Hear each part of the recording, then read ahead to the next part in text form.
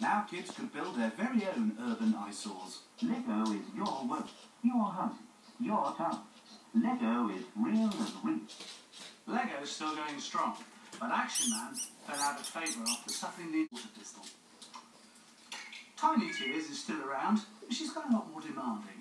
She's now got a baby monitor to let you know when she's tired, bored, and You know what I hungry. mean?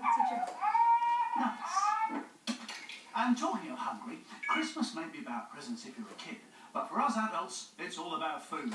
So here's Britain's original TV chef who broadcast her festive recipe. As for the first Queen Elizabeth, By the 70s, because I want to tackle the thing that men infuriate me over most. And I want to share with you how Frenchers live. Don't think for a moment. I'm not such a clot. Times when men do make fools of themselves. Haven't you seen them getting scarlet in the face and struggling with the Christmas bird when they do the carving, using this ridiculous thing with a fork guard and a special carving knife?